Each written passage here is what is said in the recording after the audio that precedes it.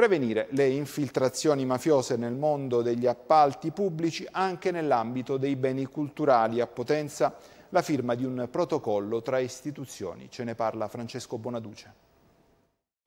L'esigenza è salvaguardare la realizzazione delle opere d'arte e altri servizi di pubblico interesse da fenomeni come corruzione e tentativi di infiltrazione della criminalità organizzata, un obiettivo da raggiungere attraverso l'estensione delle cautele solitamente utilizzate nella disciplina antimafia, e cioè sistematiche procedure di verifica e controllo nelle diverse fasi dei lavori pubblici e appalti, al mondo dei beni culturali. A Potenza è stato siglato un protocollo che prevede tra gli altri punti come l'inserimento nei bandi di clausole relative all'iscrizione nella white list degli operatori economici, l'attivazione di banche dati delle imprese aggiudicatarie per rendere più agevole e costante il monitoraggio, menzionato poi il controllo sul rispetto degli obblighi retributivi e contributivi da parte delle aziende in appalto e subappalto e dei loro flussi finanziari per prevenire riciclaggio e corruzione. L'intesa è stata sottoscritta dalla segretaria regionale per la Basilicata del Ministero della Cultura Luigina Tomai